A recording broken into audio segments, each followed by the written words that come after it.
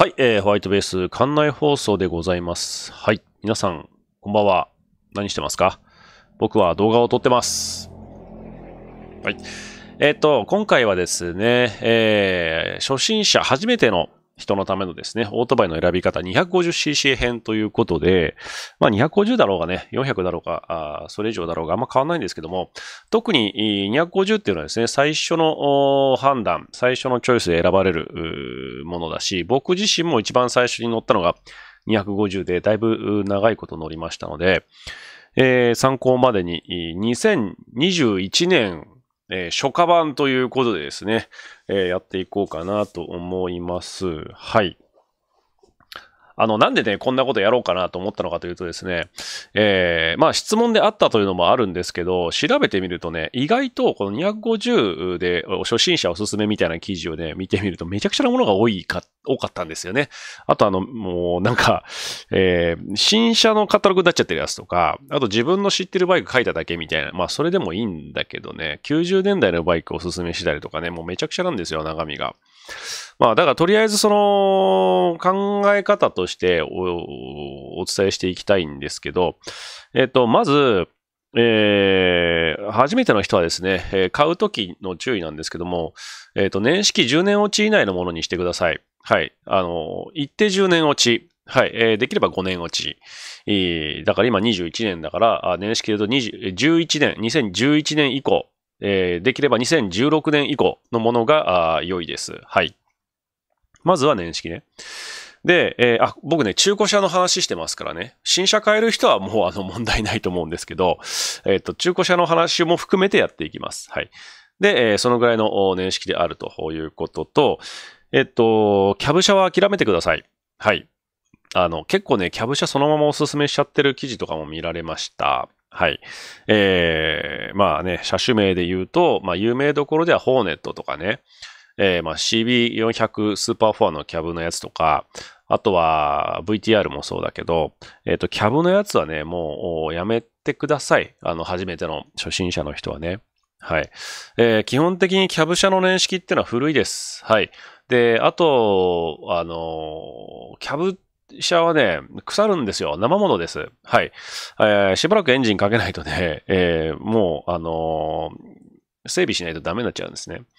っていうものが多いので、え、まあ、新車状態だったら違うけど、今新車状態で売ってないから、え、こういう言い方になります。はい。もうキャブ車は初心者、250初心者で乗るっていう人はキャブ車やめてください。はい。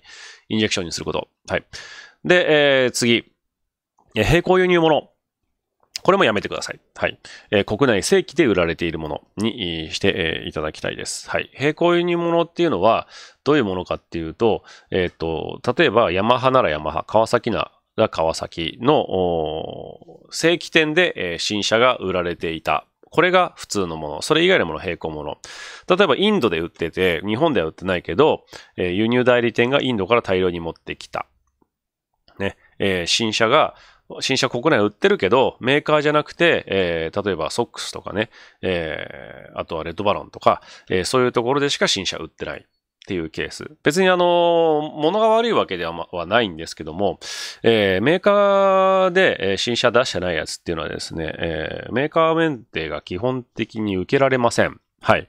え、おかしいですね。だってヤマハのバイクだけども、並行輸入物だから、ヤマハのディーラーに持っていく断られちゃうんですよ。だから部品も入らないしっていうことが、起きます。はい。起きます。すべてのバイクに対して起きるわけじゃないので、えー、そこは、あの、そこまで、えー、ね、2代目、3代目っていう人はね、怖がんなくていいと思うし、その、並行輸入やってる、そのお店、別にそのソックスとかレッドバロンがおかしいっていうわけじゃないよ。でそこが、あの、きちんと近くにあってね、えー、そこでちゃんとケアできるっていうのは全然構わないと思うんですけども、えー、中古とかで考えるとね、えー、中古持ち込みでやってくれるかっていうとね、あの、やってくんなかったりするんですよ。だから、あハードルが一段階の上がっちゃいますね。はい。で、うちで例えばそういう平行門を扱うときは、あど、どこ、どの程度、どこに何が整備必要なのかっていうのはね、一応調べてます。はい。それで、えー、お客さんにもですね、お店に来たとき説明しますので、えー、ある程度理解した上で買っていってもらってます。これね、理解して買うのと理解しないで買うの全然違うんで、えこれは、あの、気をつけてください。あの、理解しないで買うと騙された感出ちゃいますからね。はい。っていう感じです。まあ中にはね、並行ものと国内正規もの全く同じっていうのもあります。はい。あの、値段と、えー、ちょっと貼ってあるラベルのね、えー、言語が違うっていうだけのケースもありますので、まあそれはあケースバイケースかなという感じですね。はい。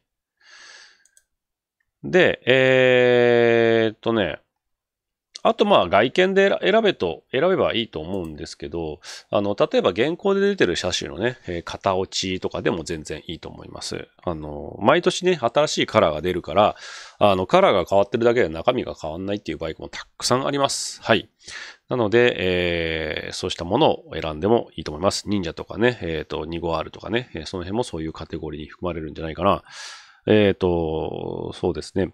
まあ、あとは中古車で考えると、まあ、中古バイクを買うときはですね、やっぱその人で選んでください。お店の人ね。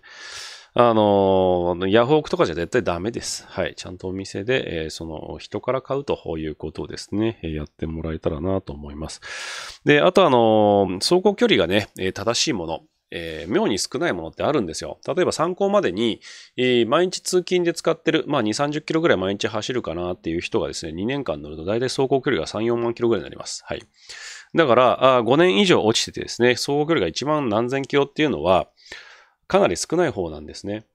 まあでも、あの、大体、その通勤に使わない場合はね、年間2、3000キロっていうのは結構ある数なので、えー、そのぐらいの距離でもね、えー、全然納得できるんですけども、例えば車体がね、あの、妙にちょっと、あの、やれた感じするのに距離が異常に少ないとか、あそういう走行距離についてはあタブーじゃないので、お店に聞いてください。はい。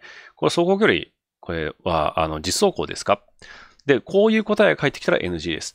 メーター読みになります。メーター読み何千キロ、何万何千キロになりますっていう言い方ね。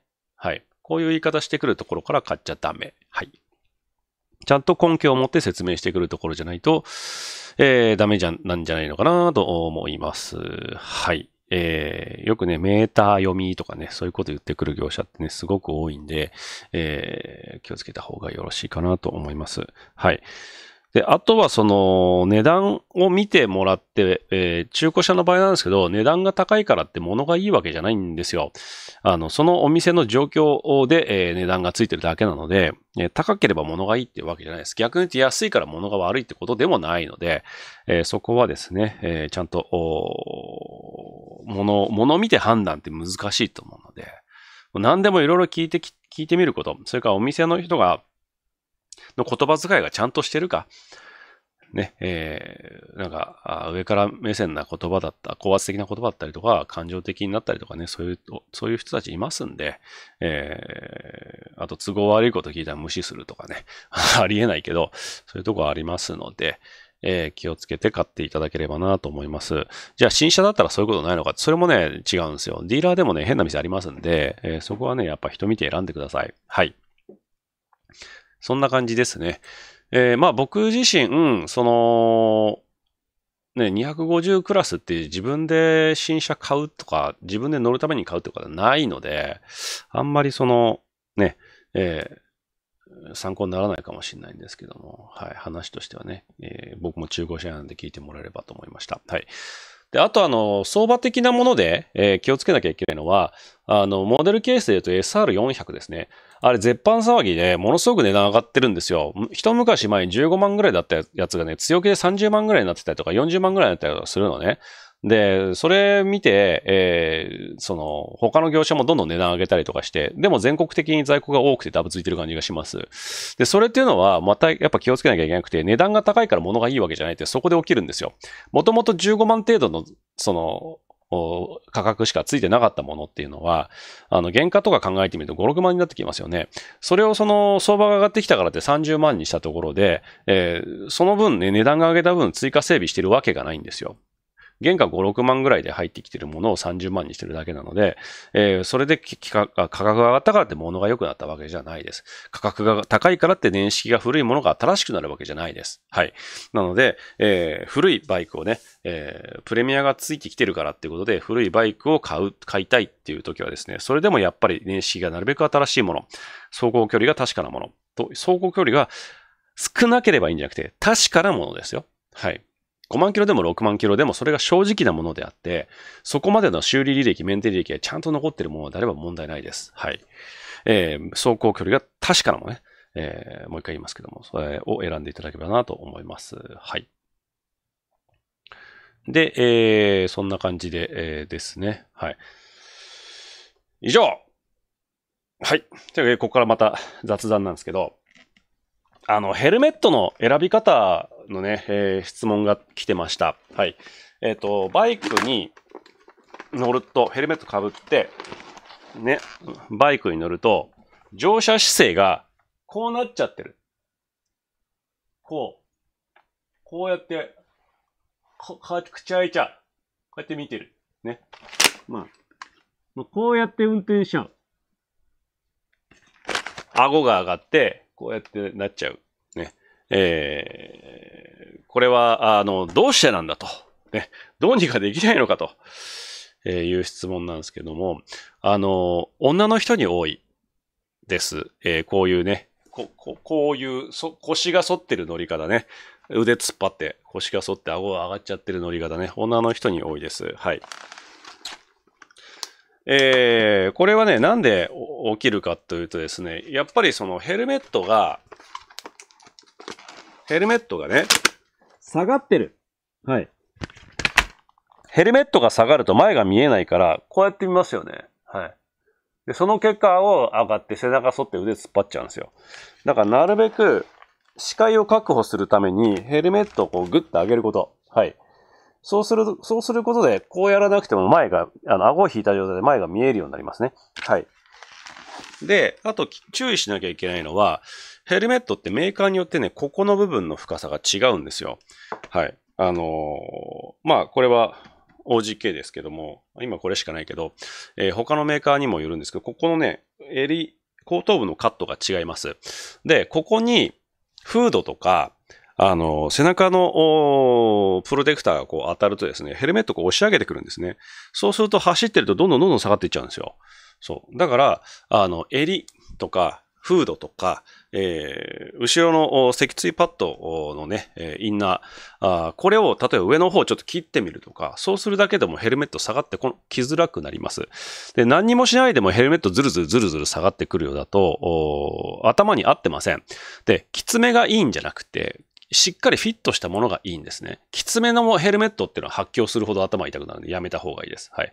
なので、緩めで、えー、下がってくるっていうのであれば、なんか帽子をかぶるとかね、あの、中にこう、ヘルメットインナーみたいな被るやつがありますので、あれでこう、サイズを調整してやるとか、えー、そういうことをしてですね、ヘルメットがずれないように工夫をしてみてください。はい。そうすることでかなり改善されると思います。正直こうやって乗ってると、あちこち痛くなるんです。肩は凝るし、背中は痛くなるし、あと腕突っ張ってるもんだから、バイク曲がりません。曲がる、曲がることは曲がるけどね、突っ張ってると非常にこうハンドルの動きを阻害しますので、えー、ある程度以上スピードがつくとですね、変な曲がり方しないと曲がんなくなってくるんですね。で、そういうのっていうのは、ちゃんとその理屈が分かっててやるんだったらいいんですけども、そうじゃない人がやるとですね、結構オーバーランしますので、早めに改善された方がよろしいのかなというふうにまあ僕は思っております。はい。あとヘルメット自体が重いケースもあります。はい。あの、ものによってはね、えー、安物とかなってくると、非常にこう、ヘルメット重いです。これは軽い方なんですけど、えっ、ー、と、例えば1.5キロとか1.8キロとかなってくるとね、えー、どんどんどんどんずるずる下がってきますので、え、注意してもらえればなと思います。結構僕もフードついてる服を着ることが多いので、フードに押されてヘルメット下がってくることがあります。はい。で、あとはその、バイクによってはね、乗車姿勢によっては前傾のやつっていうのはね、こう下がってくる。けど、こうまっすぐ乗るやつはね、下がってこないとかね、そういうのもありますので、えー、注意して見てみてください。で、自分のヘルメットを買い直す羽目になるっていうのは結構レアなケースなので、今言ったようにですね、ヘルメットインナーとか、服で調整すればなんとかなるかなと思います。はい。以上です。皆さん、ご視聴ありがとうございました。